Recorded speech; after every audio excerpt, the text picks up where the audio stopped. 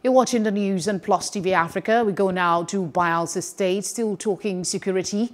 The State Police Command has announced the recovery of the bodies of six officers on by-election duty who died in a boat accident in the state.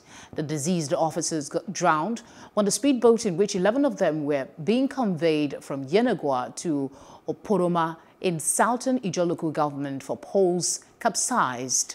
Five of them were however rescued.